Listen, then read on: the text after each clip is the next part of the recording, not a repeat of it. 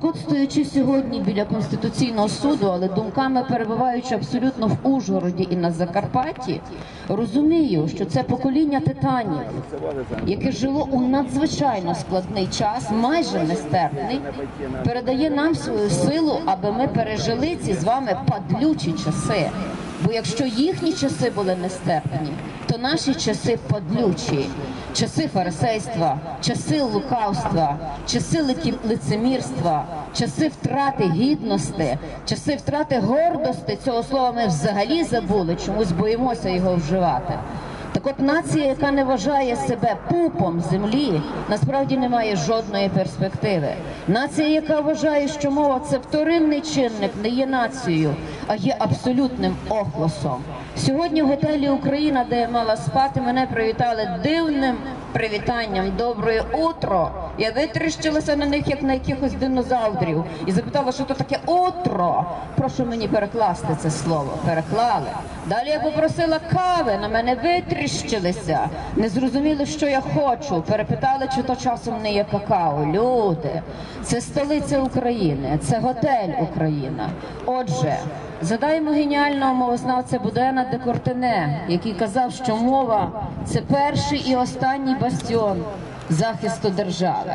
Якщо ми у час війни піддалися на облудне, нікчемне, тупе, примітивне гасло Єдина країна, єдина страна, то треба запитати, хто ми нація чи ми все-таки населення.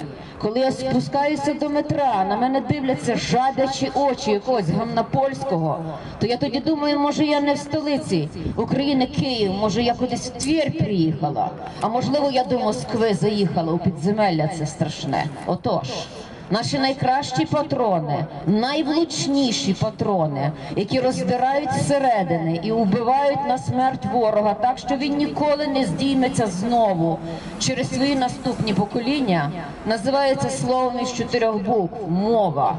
І перестати треба сентименталити на цю тему, малювати дівчаток у вишиванках і в віночках на Голівонській із заліпленим ротом. Ні, вона у латах і обладунках. Ця мова сильна і наступальна. Казав свого часу Іван Огієнко, ви зробили культ Шевченка, але ви не зробили культу зі своєї мови.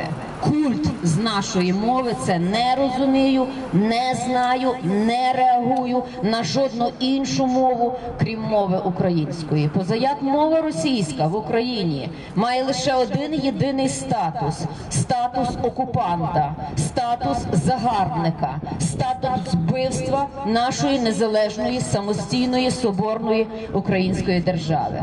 І якщо хтось колишній дружині Путіна приписує слова, що межі російського міра там, де закінчується русський язик, це насправді вкрали у нашого Богдана Хмельницького, який ще у 1657 році сказав ці слова, що межі моєї держави це межі руської, септо української мови.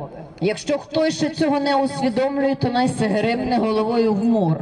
Іншого способу з ним спілкування не має бути сьогодні. Повторюю ще раз, маємо вийти з фази сентименталу на теми мови і розповіді, яка вона милозвучна, яка вона солов'їна, яке це все має значення. Якщо народ не вміє агресивно, наступально, самодостатньо і вперто наступати нею, не захищатися. Маємо ставати з нації жертви нацією месником. Маємо сприйняти цю війну винятково як національно визвольну. Тоді визволимося, а не будемо казати, що нам хтось закриває рот.